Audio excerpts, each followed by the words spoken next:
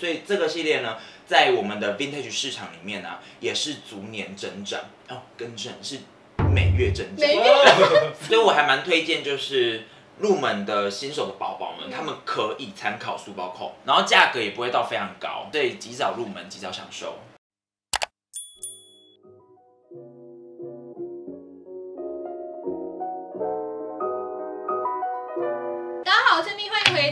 的频道。今天是我们名人跟一生单元了。然后呢，我旁边呢有我们的特别来宾，就是老伦敦的子恩。嗨，大家好，好，欢迎他。我又再次上来了，对，前那一集就是回想霹雳无敌好，真的吗？真的就是好多好多要研究老乡的人都，他都在底下留言干嘛的。因为最近真的是香奈儿太火红了，尤其是 vintage，所以我相信大家应该就是会想要更了解它的知识。没错，然后我们今天的主题就是，其实就是香奈儿的饰品，古董饰品天啊。哪，因为饰品就是现在更火红了。对尤其像 vintage 的地方，他们已经有点更多收藏家想要更深入研究，对，然后就会从这些很久远的饰品去开始去慢慢收藏。嗯，所以我们今天这集非常非常的重要哦。记得开始影片之前要订阅我们的频道，每周三、每周日我们都会有新影片，先订阅下去啦。那我们这影片开始吧。我们今天来到老伦敦，其实每次走到老伦敦，我觉得都会有那种耳目一新的感觉。因为其实我们 vintage 的商品真的很多，你们店内大概有多少 vintage 的饰品？因为我们会持续在直播销售，对对其实我们都会维持在大概三到四百件左右。Oh my god！为什么被这些东西包围？我刚看到你的眼睛一进来一看到你就 噔，这就是我梦寐以求，就是这些东西如果都属于我，该有多好这样子。那我们今天请子仁跟我们分享，就是是这些香奈儿饰品有哪些是很经典必收藏的款式？应该是说 vintage 的香奈儿，他们是用年代去区分嘛，对每一个年份他们都有不同的作品出来。因为现在就是 vintage 的饰品已经被价格哄抬很高了，有些系列的商品是特别有价值的，然后甚至更有吵架空间之外，连它当年的做工都特别细腻。那我分别介绍好不好？目前以金饰的 vintage 饰品来说，他们有分三个年代作品是特别受欢迎的。哦，从一九九三、一九九四，然后跟一九九六年的。那我们先从一九九六年这个系列推荐开始。那我们第一个系列呢，是我们藤蔓的系列。藤蔓系列就是你会看到它的商品上面会有一点一点的小珠珠在它的边缘，然后会勾勒一些藤蔓的细节。然后这些做工其实是现在比较难去克制的，所以他们这个系列也是成为就是会涨价的空间的之一。因为真的比较精致，精致度很高。对，精致度很高。然后往前推两年，就一九九四是更精致的葡萄藤系列。的葡萄藤系你可以看到，它就是变成是藤蔓的更进阶版，然后就变成是你会上看到上面就会有一颗一颗一颗的小葡萄的感觉。幻想葡萄藤有很多的一些葡萄藤的小小枝芽、小枝芽等等的，所以以你会看得到，把那个葡萄藤系列做在这种造刻的工艺上面是非常非常难的。对然后葡萄藤系列呢，因为 Coco 女士她们从小比较贫穷，她就跟父母亲乡间跟城市之间这样来回往返，她就特别怀念在乡间的葡萄园，就是这就是她的一个设计童灵感。童年的童年的那种对，所以这个系列呢，在我们的 vintage 市场里面啊，也是逐年增长，哦，更甚是每月增长每。月这个要搜，赶快收哎、对，真的很夸张因为。它数量只会越来越少啊。对，所以真的很值得入手，就是我们越早买越早享受，然后价格也不会那么贵。对对，就是这样子。然后接下来我要进入就是终极终终极最值得介绍的一款，就是现在内地中国地方啊，或者是各大欧美市场，其实他们最炒最凶的就是这个龙眼系列。然后龙眼它有像是项链那些有，因为我们这些都卖掉了。然后我不得不说，就是因为它的价格是真的算是 vintage 饰品里面最高的，但是你看了，我们都卖光光哎、嗯，代表是真的很多人想要收藏它。对，然后为什么这个龙岩系列会到今天的这种高价值的地步的原因，是因为你可以仔细看一下它的工艺哦。它们上面的这些工艺就有点像是岩浆啊，融下去的时候，它瞬间冷却，瞬间冷却的那个不规则的纹路。那这不规则的纹路呢，其实同样是龙岩系列，可是它每一个都不一样。哦，都不太一样。，对，所以全世界你手上的这个是唯一一个。天哪，然后尤其像是这一款胸针外双 C，它其实特别，它的识别度是极高的。它被誉为全球前 Top 五具有识别度的 logo。logo，大家应该都有喝过可口可乐吧？也知道可口可乐，对对就是从老到少都会知道可口可乐，它也是在前 Top 五，你就知道香奈儿这个 logo 多么具有代表性，因为我真的喜欢它。就是非爱它不可。那我们刚才介绍完就是三大必系列之外呢，我觉得我要分享一下我自己非常喜欢的是琉璃系列的。哦，琉璃系列真的是老乡不得了的商品。对，因为我觉得它其实现在后来一些新的设计，其实都没有这些琉璃系列的东西。对，讲到琉璃系列呢，香奈儿它有跟两大的琉璃工坊合作，其中一个是 Gapra，它是以成立在一八六九年的时候，因为一九二零年代的时候，这个琉璃的商品啊被大量广泛运用，所以那时候香奈儿就是发现了这个趋势素材，嗯对，它就结合了它的饰品。然后琉璃系列呢，它真的是很值得收藏的原因呢、是因为它非常的透彻，很纯净。所以你会看到它上面是非常浑厚的那种自然色泽，因为它跟现在的树脂又不一样，树脂会比较没有办法像它那么透彻。透，明。因为现在大部分新品他们都是用树脂，比较少在用这种琉璃，所以这也是因为琉璃系列在 vintage 市场会那么火红，跟因为稀有嘛嗯，那再加上它的天然的那种自然色泽很高级，现在也是可遇不可求了，真的，因为卖一件少一件。真的，因为你看它那个就是琉璃系列的东西，它虽然时代已经久远，但是你看它现在的光泽跟那个透亮度还对是很美，很像新品。然后它还有像是腰链啊这一种，对，这个就是不得了了，这个就是我刚刚要介绍的第二间工坊哦 Gosens。哦，看到 Cosens 是一九五三年开始跟香奈儿合作，然后它的刻牌是这样的烙印，直接刻 Chanel，这个就是在一九五四年到一九七一年之间的作品。因为我研究这些东西，我会希望研究年份，对，因为你会知道那一个年份、那个时期他们喜欢的东西是什么。因为我们其实看到非常多 vintage 这些耳环，对都是夹式的啊、哎，这个问题问的非常好，因为我们现代人很多都打耳洞了，对所以我说，哎，你们有没有耳针？可是 vintage 真的百分之九十五都是耳夹。对，尤其像以前那个年代，五零六零这种年代，他们会依照欧洲人的身形跟脸型去设计他们的饰品。因为你看到以前老像的东西，他们会做的特别大。你看这个有够浮夸，超大，对，现在你带这个出去说，哎、你你给他没给往下吗？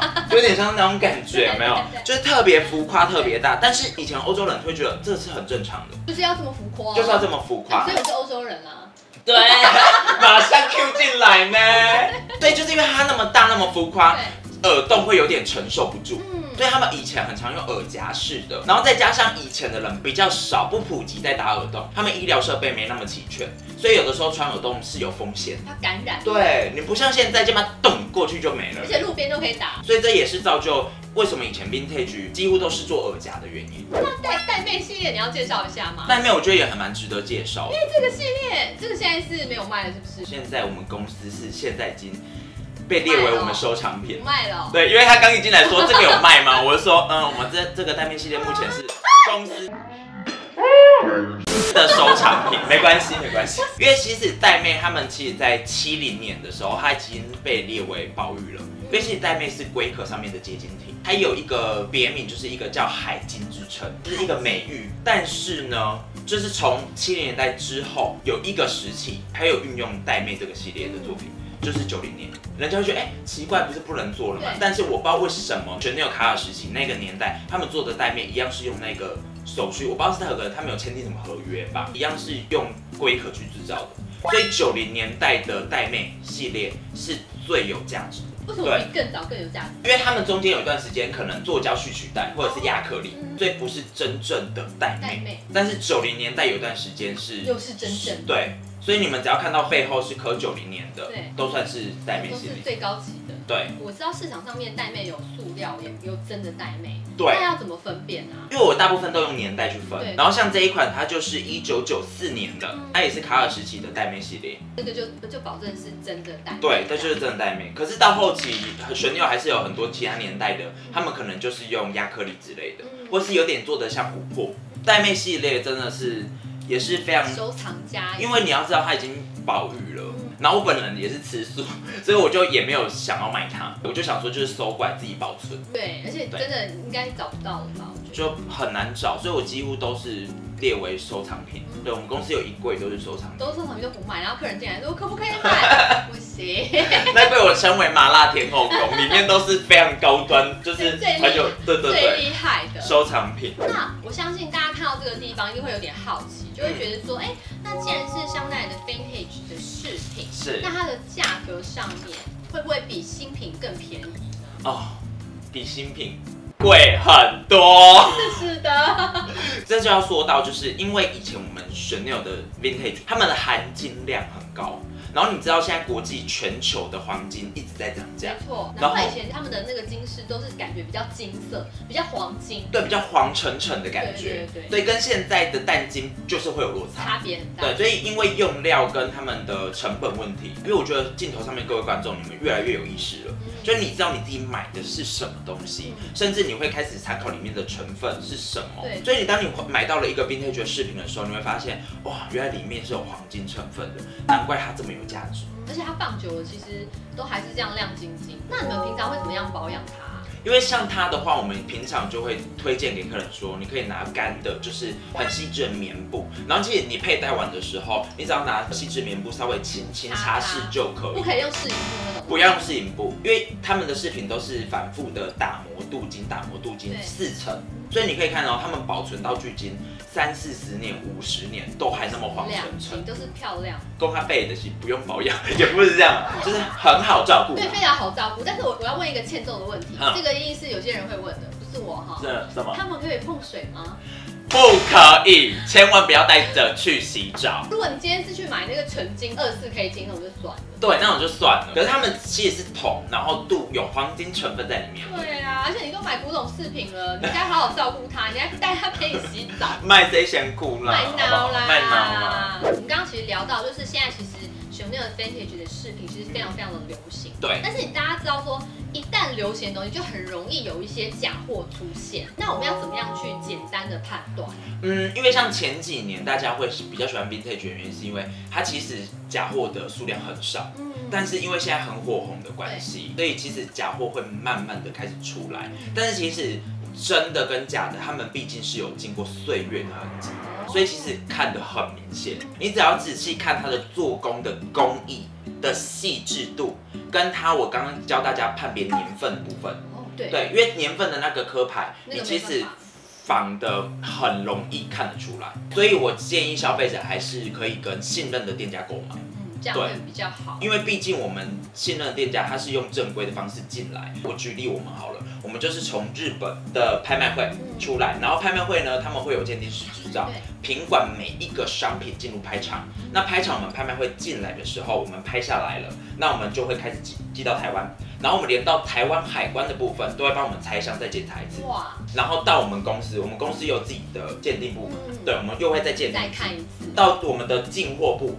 然后到陈列上架，门市人员又会再看一次，哇，所以等于是四到五个把关。四五关，我觉得要出现假货的几率。对，所以我觉得大家买这种 vintage 的东西，一定要找信任的店家购买。嗯，对对对，那我自己稍微分享一下，因为我自己有在收集一些 vintage 的饰品。我知道你超多。也还好啦，跟你们四五百件比起来，我小咖而已。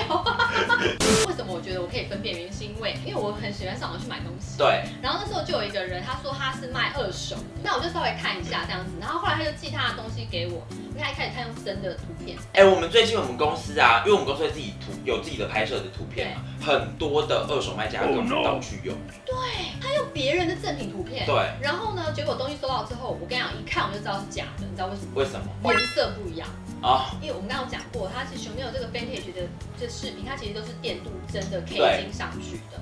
那假货不可能去电镀这些东西，一定是那种没有黄金成分。不可能有黄金成分。对，其实有的时候我们看颜色或者是它的做工、雕刻对，其实很明显。差很多。对，然后大家可以先从它的刻牌下去辨识对。你只要看到刻牌太模糊的那种，就是真的要小心。但是真的不可考，因为你不一定是可能五零年代的，因为他们是品从从五四年就开始有刻印了。对你可能从五四年那个时候做到现在，可能你真的佩戴久了，多少会有一些磨痕啊，或者这都很正常。但是你要很仔细的去看，像我们都一定会用那种几百倍的放大显微镜去看它。我个人是真的真的觉得就是真的假不了，假的也真不了，因为它那个质感真的差太多。它有质感的分量，没有负担的重量。对对对对有没有觉得讲话这是一个金句。对对对。那我们刚才其实介绍过非常多的 Chanel 配件之外呢，有没有什么样的配件也是非常值得就是大家购买？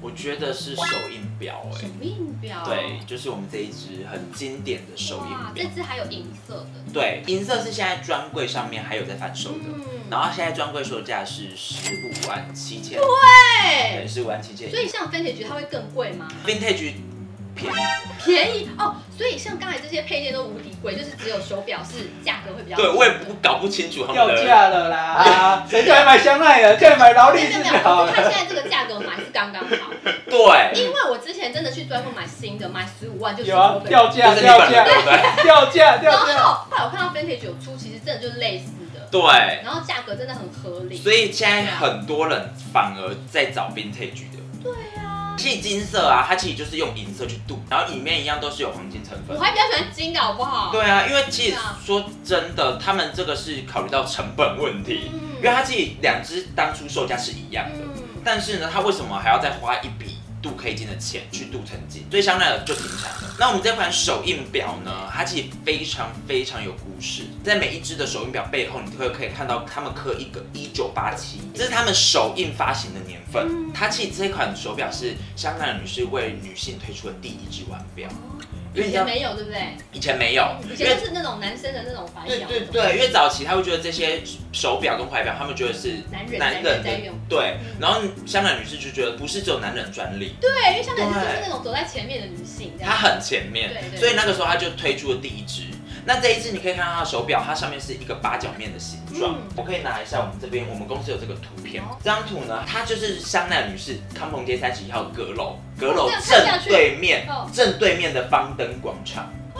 从上面看下去就是香奈儿的表的形状。，对，所以这一支就不能的表的表面的形状呢，它就是方登广场的设计灵感。哦，所以你可以看，它就一模一样。我头皮发，麻了，的知识。真的很美，真的很美。我之前光买，我不知道这个。你只觉得它长得很漂亮，对对。它自己来就是设计灵感跟故事非常的深远。嗯，但是我觉得其实很多品牌也也只有香奈儿它这么有故事啊。你看从它的包包，然后到所有的配件什么之类的。确实，这也是为什么它可以火红一百年的原因。对，真的，它可以历久不衰。，对，所以手工表真的很推荐。这也是为什么这么多女性想要收藏的第一个香奈儿商品都会选手印表。嗯然后手印表的价格呢，刚刚有提到，对专柜现在是十五万七，那我们手印表价格现在二手市价大概落在五到七万。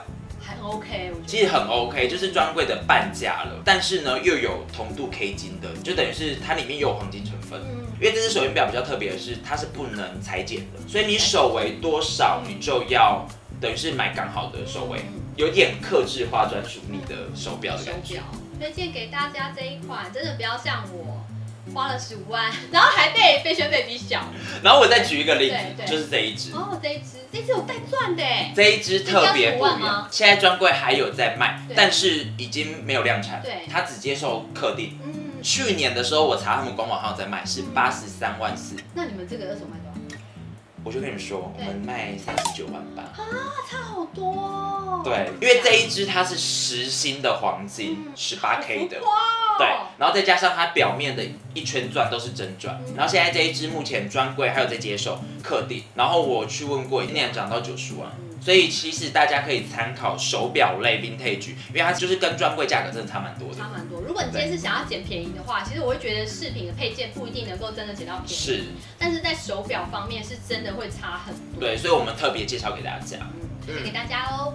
好，那我们今天其实分享了那么那么多的 Chanel Vintage，我们最后呢要请子能跟我们推荐，一个就是如果你今天是刚入坑这个 Chanel Vintage 的话，有没有推荐什么给我们新手入门的一些商品？嗯，我觉得新手入门的话，我觉得可以先参考他们家最经典的 logo 款，嗯，像这种，对对对这个。超可爱的。书包扣系列，然后这一款书包扣呢，它其实算是一款很年轻的代表。嗯，然后书包扣系列大概都是在也是九零年代的作品。其实你看每一个系列哦，它只要销售的越好，它会在更多的年代会出现。对，这个这个书包扣是其实很多年代它都有出现。，对，它就是九零年代，其实它出了一段时间，表示它在当年真的是销售是非常好的。所以你们有时候会有一个问题，你们会说，哎，为什么虽然同款，可是刻印不一样？可能一个九六，一个九七，正常的。因为卖太好了，对，因为卖太好了。可能出了十年。就像香奈儿现在专柜货，他们会直接复刻以前的东西，嗯道理是一样。对，真的对，有点像是这样子，这就是经典款跟热卖款会一直做的东西。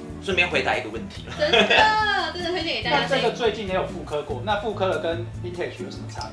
差在就是铜镀 K 金啊，对，我觉得颜色有差，嗯更金黄。会更金黄的感觉。对，会更金黄。新款就是有点白金白金的，，对，然后新款的话，现在大部分都是做耳针式的，嗯，然后 vintage 是这种二加。二加式的，所以我还蛮推荐，就是入门的新手的宝宝们，他们可以参考书包扣，因嗯，为它其实一个书包扣 logo 款就可以配很多风格。对啊，它无什么风格都可以搭配，对啊，，然后价格也不会到非常高。当然，现在 vintage 现在还是被炒的有点越来越贵了。对，及早入门，及早享受。好喽，那就推荐给大家喽。对好，那我们今天真的分享非常多，就是有关于询问 vintage 的一些冷知识，然后还有什么东西该买的这样子。我们今天非常谢谢非常专业的老伦敦的子恩，谢谢吹咪的邀请。对，然后如果大家想看其他主题的话呢，也欢迎就是敲完在底下让我们知道啦。那我们会把老伦敦的那个 IG 留在上面，让大家就是可以去逛。如果你们对今天的 Chanel Vintage 非常非常有兴趣，想要去看更多商品的话，你们也可以去看他们的 IG。然后记得每周三、每周日我们都有新影片喽。那我们下期影片见，我是崔咪，我是子恩，拜拜，拜拜。